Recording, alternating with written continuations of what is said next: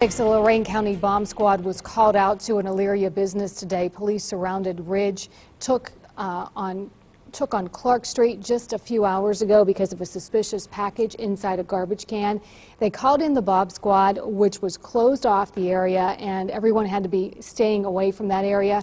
An employee thought it was suspicious because of what was coming out of the box and had not been there earlier in the day. The bomb squad pulled the box from the garbage can and then detonated it. It turned out to be safe, but it turned out to be nothing. No one was hurt.